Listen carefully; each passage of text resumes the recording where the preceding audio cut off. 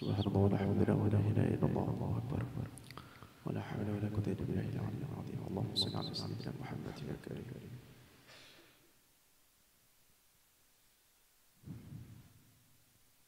الله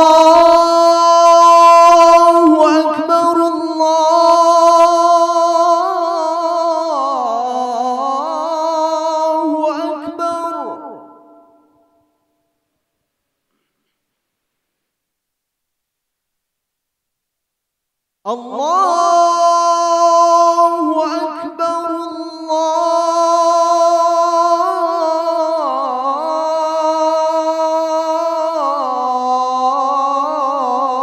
الله أكبر.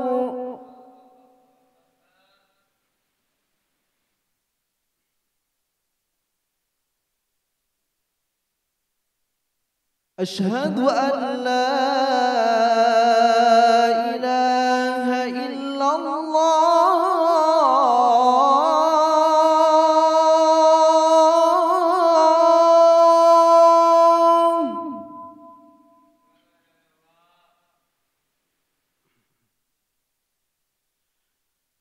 أشهد أن لا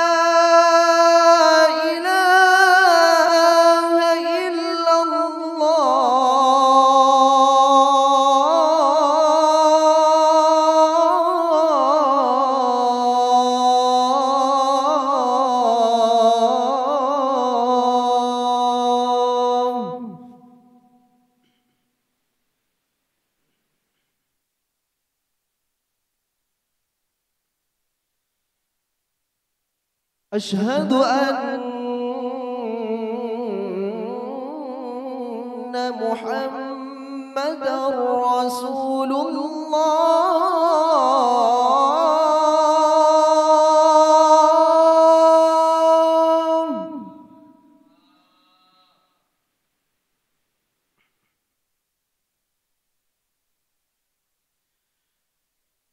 أشهد أن الله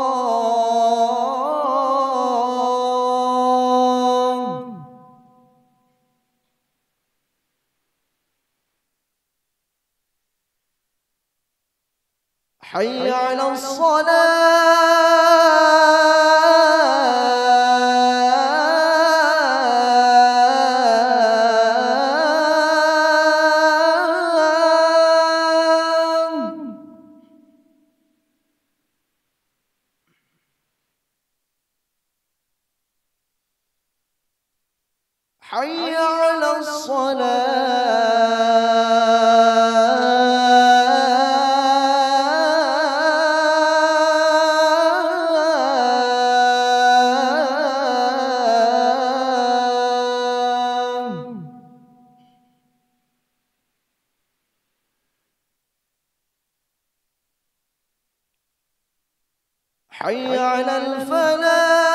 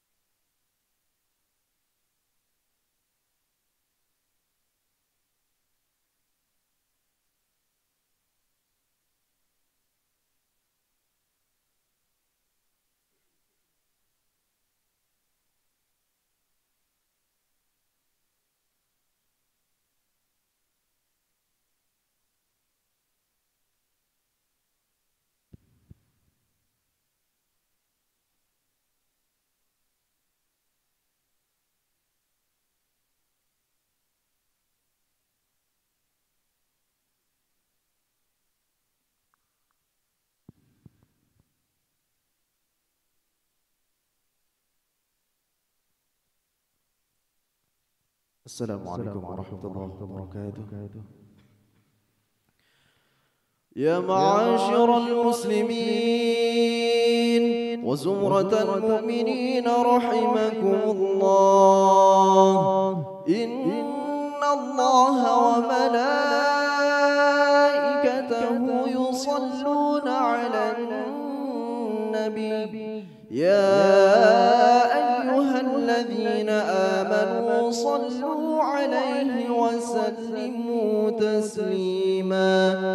روي عن أبي هريرة رضي الله عنه أنه رسول الله صلى الله عليه وسلم. إذا قلت لصاحبك يوم الجمعة أنصت والإمام يخطب فقد لغوت. أنصتوا واسمعوا وأطيعوا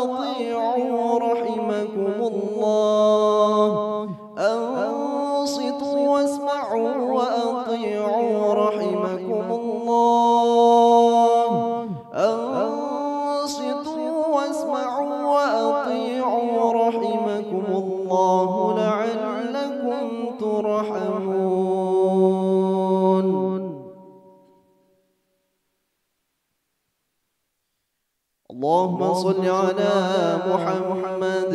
اللهم صل على سيدنا محمد. اللهم صل على سيدنا ومولانا محمد. اللهم قو الإسلام من المسلمين والمسلمات والمؤمنين والمؤمنات. وانصرهم على معاند الدين. رب اختم لنا منك بالخير ويا خير الناصرين برحمتك يا أرحم الراحمين. السلام عليكم ورحمة الله وبركاته.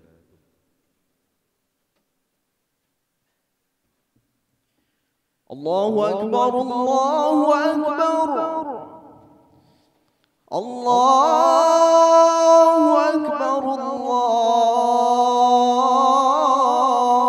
أكبر. أشهد أن لا إله إلا الله.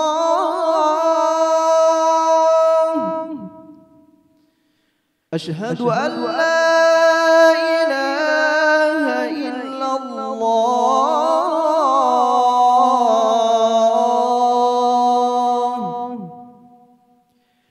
أشهد أن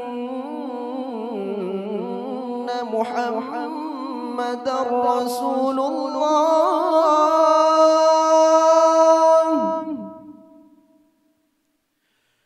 أشهد أن محمد رسول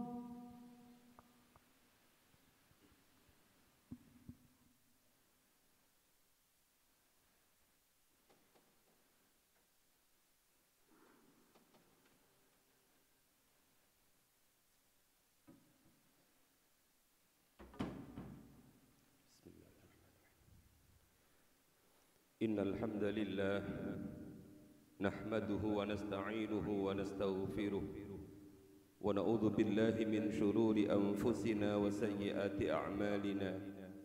من يهد الله فهو المهتد ومن يضلل فلن تجد له وليا مرشدا.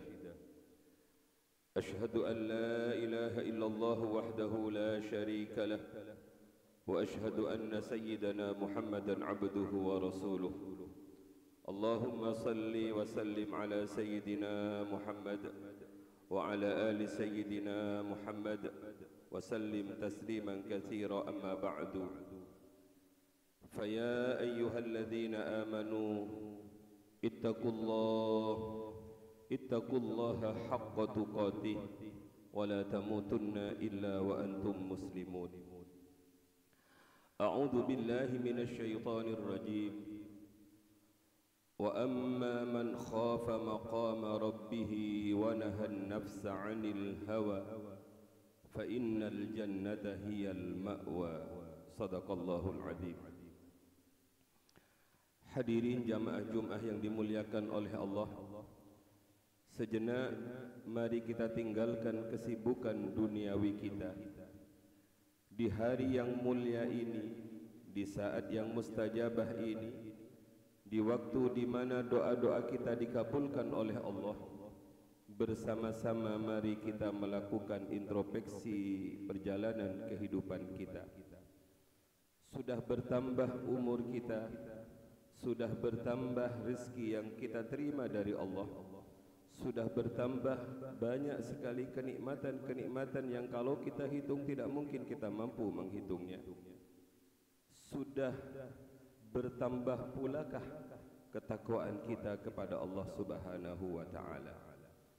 Mulia tidaknya kita di hadapan Allah tidak ditentukan oleh seberapa tinggi pangkat yang kita sandang Seberapa banyak harta yang kita miliki. Ukuran kemuliaan kita di sisi Allah Adalah ketakwaan kita kepada Allah. Inna akramakum indallahi atqakum Sesungguhnya yang paling mulia di antara kalian adalah yang paling bertakwa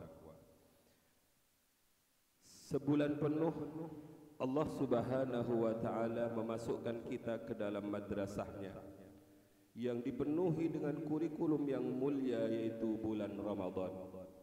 Sebulan penuh kita dididik oleh Allah bagaimana cara mengalahkan hawa nafsu kita, musuh terberat dalam kehidupan kita sebagaimana yang disampaikan oleh baginda Rasul, raja'na min jihadil asghar ila jihadil akbar wa hiya jihadun nafas. Kita baru saja menyelesaikan peperangan yang kecil di hadapan kita ada peperangan yang luar biasa besarnya yaitu memerangi hawa nafsu. Asy-Syaikh Ibnu Athail As-Sakandari penulis kitab Hikam menulis satu hikmah yang luar biasa hebatnya untuk mengukur seperti apa kita di hadapan Allah. Seperti apa kita bermujalasah dengan orang-orang dalam kehidupan ini. Beliau dawuh La yukhafu alaika an taltabisa turuku alaika Tidak ditakutkan, tidak dikhawatirkan bagi kamu Samarnya jalan-jalan menuju ridhonya Allah. Wa innama yukhafu alaika min ghalabatil hawa alaika. Sesungguhnya yang paling ditakutkan terhadap kalian Terhadap kamu adalah ketika kamu kalah dengan hawa nafsunya. Hadirin yang dirahmati oleh Allah Sayyidil Habib Umar bin Hafid Memberi satu ciri khas Seorang yang puasanya berhasil Itu cirinya bisa dilihat Bagaimana hubungan dia dengan Al-Quran setelah dia berpuasa. Al-Quran berbicara Wa amma man khafa maqama rabbihi Wa nahan nafsa anil hawa. Adapun orang-orang yang takut akan kebesaran Allah wa nahan nafsa 'anil hawa dan ia menahan sedemikian rupa hawa nafsunya untuk tidak memperturutkan keinginan nafsunya. Fa innal jannata hiyal ma'wa maka orang yang mampu menahan mengalahkan hawa nafsunya surgalah tempat dia. Hadirin yang dirahmati oleh Allah, semua murid, semua santri, semua umat baginda Rasul dalam kehidupan ini tidak akan lepas dari empat kondisi. Yang pertama, ia akan dalam ketaatan. Kadang kalau dia tidak dalam ketaatan, dia dalam kemaksiatan. Yang ketiga, dia bisa dalam keadaan mendapat nikmat dari Allah dan yang terakhir dia bisa mendapatkan ujian dari Allah. Tidak mungkin kita lepas dari empat kondisi ini. Bagaimana cara agar taat, maksiat, nikmat dan ujian dari Allah justru menjadikan kita dekat dengan Allah. Justru menjadikan kita sampai kepada Allah. Asy-Syaikh Ibn Athail As-Sakandari dawuh Apabila engkau dalam keadaan nikmat Maka yakini apabila engkau dalam keadaan taat Maka yakini bahawa ketaatan itu bukan karena usaha kamu. Ketaatan itu bukan karena ikhtiar kamu. Tapi ketaatan itu adalah anugerah dari Allah subhanahu wa ta'ala. Karenanya yang harus kamu lakukan sesuai petunjuk baginda Rasul adalah mengikhlaskan setiap ketaatan yang engkau lakukan. Hadirin yang dirahmati oleh Allah, hawa nafsu masuk dalam diri kita ketika kita sedang taat dan hawa nafsu itu masuk ke dalam diri kita saat kita taat adalah dengan cara menjadikan diri kita ujub, menjadikan diri kita ria, menjadikan diri kita sum'ah menganggap diri kita lebih baik dibandingkan orang. Itu cara kerja hawa nafsu. Saat kami umrah pada tanggal 26 Ramadan, kami melakukan tawaf mengelilingi Ka'bah bersama keluarga kami. Tiba-tiba ada orang tua yang putih bersih dia tawaf sendirian dengan cepat. Yang keluar dari lisannya bukan doa-doa tawaf sebagaimana yang ada dalam manasik, tapi yang keluar dari lisannya adalah لبيك اللهم لبيك لا عجب ولا رياء ولا سمعة. لبيك اللهم لبيك لا عجوبة ولا رياء ولا سمعة itu terus yang dibaca sampai pada rukun yamani dan rukun hajari yang seharusnya manasik mengajarkan ربنا آتنا في الدنيا حسنة وفي الآخرة حسنة وكنا عذاب النار وادخلنا الجنة مع الأبرار يا عزيز يا غفر يا رب العالمين Orang tua ini tetap berdoa Labbaik Allahumma labbaik La ujuba wa la ria'a wa la sum'ata. Kemudian saya bilang kepada anak saya Orang ini adalah walinya Allah Yang dikirim kepada kita Untuk mengajari kita Mentalkin kita Doa yang sangat penting dalam kehidupan kita. La ujuba wala riaa wala sum'ata. Jangan sampai ketika kita melakukan ketaatan ada penyakit ujub dalam diri kita ada penyakit ria pamir dalam diri kita. Ada penyakit sum'ah ingin didengar oleh orang. Dan ini adalah penyakit yang lumrah pada saat ini. Karena saat ini adalah orang-orang pingin viral. Pingin viral. Itu adalah penyakit dalam kehidupan beribadah. Yang kedua, kalau kita tidak dalam ketaatan, maka mungkin saja kita masuk dalam satu kondisi yang disebut dengan maksiat. Tidak ada di antara kita yang terbebas dari maksiat karena kita bukan nabi yang maksum, karena kita bukan wali yang mahfud yang dijaga dari Allah dari maksiat. Suatu saat sebagai seorang hamba mungkin saja kita terjerumus ke dalam kemaksiatan. Akan tetapi kemaksiatan itu kalau disikapi secara benar maka kemaksiatan itu bisa menjadikan Allah ridha, bisa menjadikan Allah uh, meridhai kita dan bisa menjadikan kita usul kepada Allah. Asalkan ketika kita melakukan maksiat, kita berkata dalam hati kita, Ya Allah, coba lihat saya. Ketika saya engkau tidak lindungi, maka saya sudah langsung berbuat maksiat. Jadi kemaksiatan yang dilakukan ini karena kita tidak sedang dilindungi oleh Allah Subhanahu wa taala. Kemudian kita segera beristighfar dan bertaubat kepada Allah. Maka maksiat yang berakhir dengan kerendahan, maksiat yang berakhir dengan pengakuan bahawa diri kita tidak bisa apa-apa tanpa perlindungan Allah. Maksiat yang seperti itu akan menjadikan kita diridhoi oleh Allah Subhanahu wa taala. Bahkan dalam hikmah yang lain Syekh Ibn Atta'illah As-Sakandari mengatakan Maksiat yang berakhir dengan penyesalan dan merasa rendah diri Itu lebih baik dibandingkan ketaatan yang berakhir dengan ketakaburan dan kesombongan. Hadirin yang dirahmati oleh Allah Kalau kita tidak ada dalam dua kondisi ini Mungkin kita sedang berada dalam kondisi mendapatkan nikmat dari Allah Subhanahu wa taala maka ketika kita mendapatkan nikmat dari Allah Subhanahu wa taala jalan menuju keridhaan Allah sangat jelas yaitu dengan jalan mensyukuri nikmat tersebut dan tidak mengkufuri nikmat tersebut. Menggunakan kenikmatan itu untuk hal-hal yang diridhai Allah. Tapi ketika kita mendapatkan kenikmatan hawa nafsu bisa masuk dalam hati kita dan menjadikan kenikmatan itu menjadikan kita jauh dari Allah Asyik Ibn Atta'il Asakandari mengatakan Apabila seorang mendapatkan kenikmatan Kemudian dia istaqalla ala nikmatillah Menganggap kecil nikmat Allah Sehingga dia menganggap itu bukan nikmat Maka kenikmatan yang Allah berikan kepada dirinya Menjadikan orang itu jauh dari Allah. Hadirin yang dirahmati oleh Allah Yang terakhir kondisi kita mungkin suatu saat akan dalam ujian dari Allah Subhanahu wa taala. Tidak ada jalan terindah ketika kita diuji oleh Allah kecuali kita ridha terhadap apa yang dipilihkan oleh Allah. Sambil kita mengingat bahawa al-mubli huwal mun'im yang menguji kita, yang memberikan cobaan kepada kita, dat yang sama yaitu yang selama ini memberikan kenikmatan kepada kita al-mubli huwal mun'im.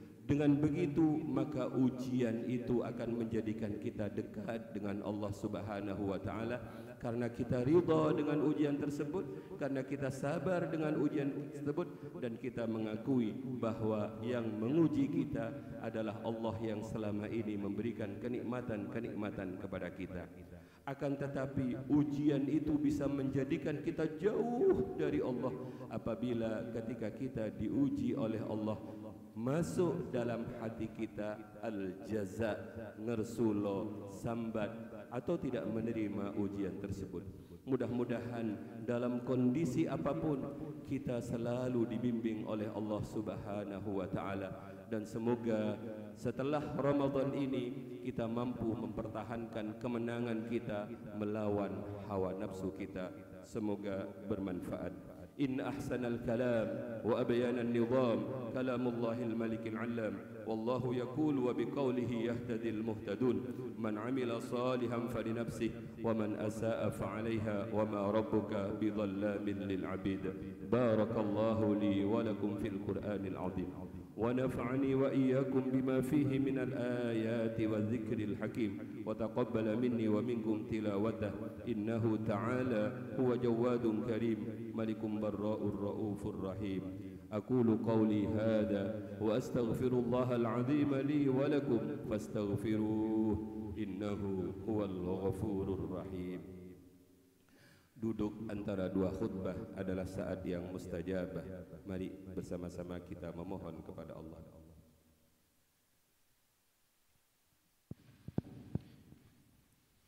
Allahumma صل على سيدنا محمد وعلى آله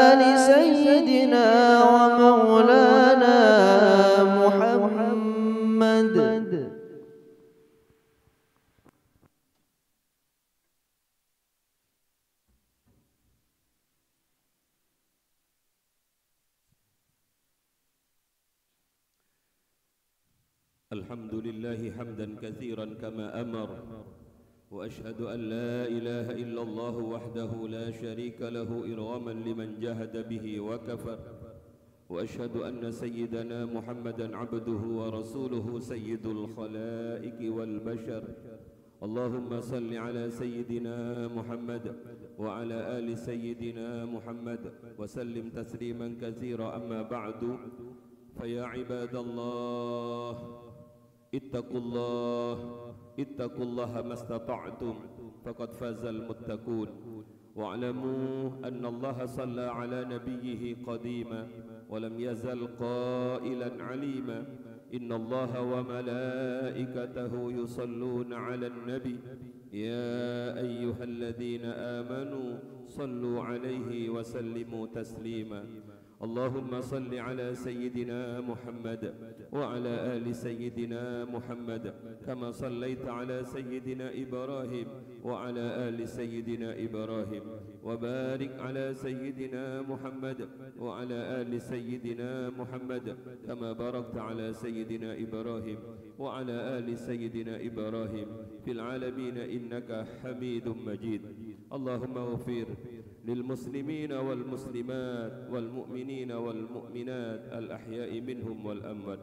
اللهم أعز الإسلام والمسلمين وأهلك الكفرة والمشركين والمتمردين المتشيدين الذين يكذبون رسلك ويصدون عن سبيلك ويقاتلون ويحاربون أولياءك. اللهم أنزل بهم بأسك الذي لا يرده عن القوم المجرمين. عباد الله إن الله يأمر بالعدل والإحسان وإيتاء ذي القربى وينهى عن الفحشاء والمنكر والبغي يعظكم لعلكم تذكرون. فاذكروا الله العظيم يذكركم واشكروه على نعمه يزدكم ولذكر الله أكبر. والله يعلم ما تصنعون.